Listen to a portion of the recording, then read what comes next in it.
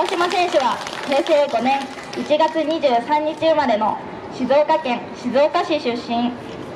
2011年に静岡学園高校から川崎フロンターレに加入し2016年にはリオデジャネイロオリンピックにも出場2018年にはワールドカップロシア大会の日本代表にも選出され J リーグベストイレブンを受賞されましたプライベートでは2021年に第一子が誕生し現在は子育てにも奮闘されております。この度はご多忙の中社会貢献活動に参加したいとのご意向から本日の交番の日と被害者支援ネットワークのキャンペーンに伴って一日幸い警察署長をお受けいただいた次第でございます。それではただいまより1日警察署長の委嘱状を交付します。長谷署長お願いします。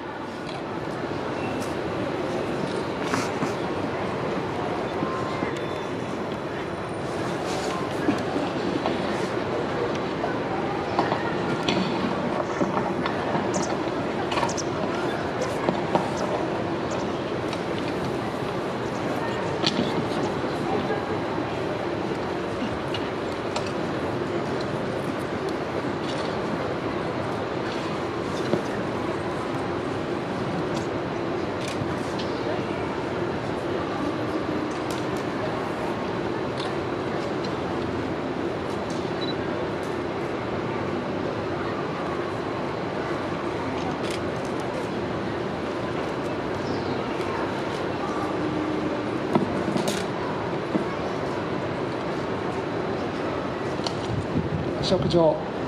大島陽太殿。交番の日に伴う地域安全キャンペーンにあたり一日警察署長を委嘱します。令和4年11月28日神奈川県災害警察署長長谷義明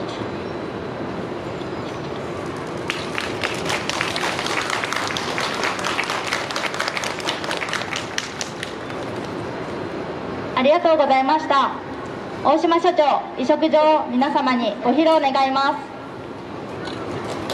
大きな拍手お願いします。